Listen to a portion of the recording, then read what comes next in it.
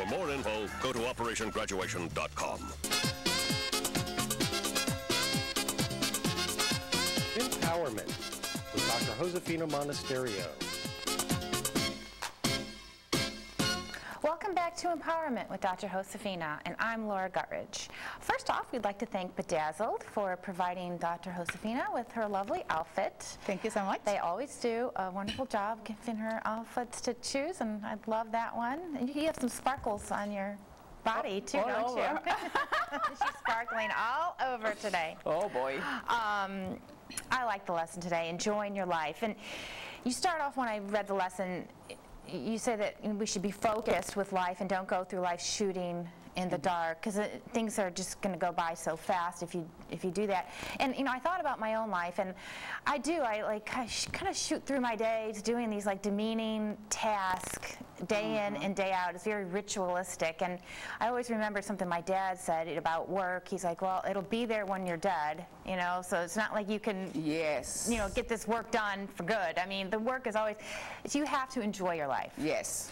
And, um, and you talk about you know, when we're focused on, and you're talking about being focused on enjoying life, aren't you? Yes, yes, Yes, just like you would be focused on, you know, uh, your career or Yeah. anything like that. Yeah. You know, enjoyment is something we should also focus on. Yes, because sometimes you, you're in a situation that you're supposed to be having fun, but you're thinking about doing the laundry. Yeah.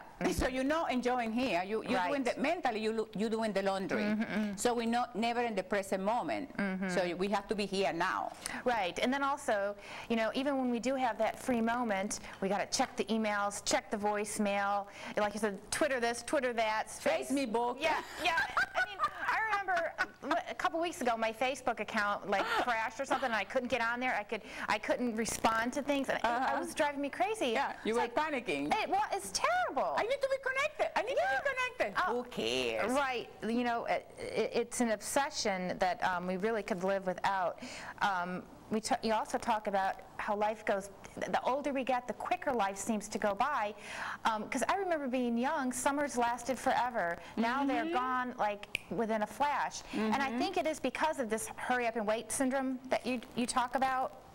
And um, even when you say we're, if you're stuck in traffic, you have to try to somehow enjoy that. Yes.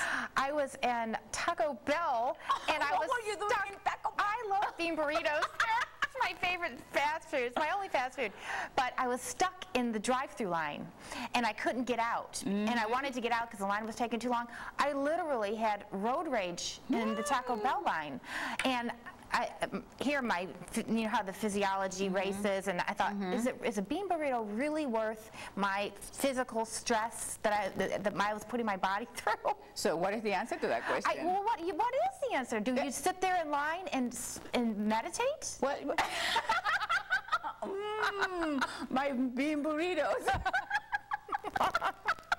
Please. No, I know what I needed to do. I needed to put in one of Dr. Josefina's meditation CDs. Absolutely. Well, you know, it's like you there stuck in the line. What are you gonna do? I mean, you gon- you're not gonna get mad like you did. I They didn't help you. They didn't make your life. Did the burrito came faster? Well, actually, I got out of the line and I was just going to leave, but I ended up going inside and giving them a piece now of my mind. let me ask you this question: Did you enjoy that burrito? You didn't get mad? Uh, I, you know, I seem to really enjoy that burrito extra. It, it, I was thinking how silly. Very silly. Because he was so hard to get. yes, I had to work for that burrito. Um, but you talk about how you can have money, fame, houses, cars, but in the end, it's all someone else's, we, you know, return to nothingness. Uh-huh. And that is a scary, scary thought, but it's a thought that we have to recognize. Absolutely. Because it makes you enjoy your life more, realizing that it's not something that's going to go on forever. You know, and once, once that moment, for instance, you have this beautiful, gorgeous girl called Celeste. Yes. Okay, she's precious. She's mm-hmm. my favorite.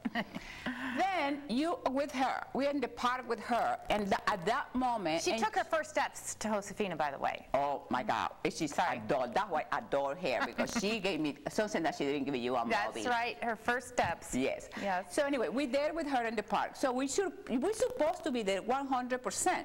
Not that we're gonna be there thinking, oh my God, I have to do this, I have to do that, I have to go for shopping. No, it's that moment right now. Mm-hmm. Yes. Because once that moment, that instant is gone, is forever. You not take that back.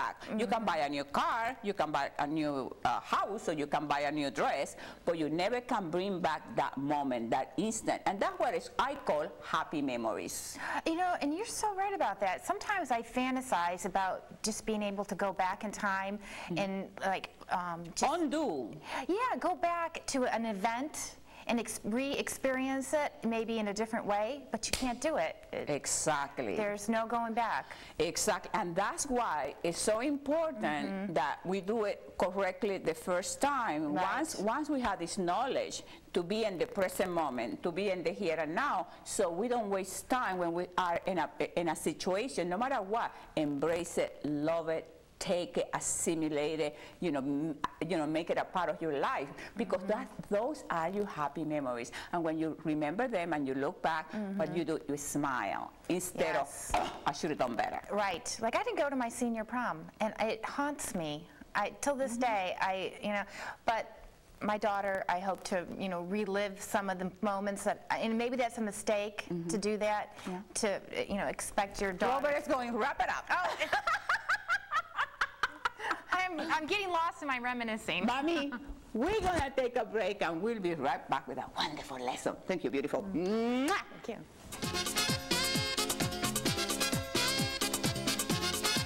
Empowerment with Dr. Josefina Monasterio.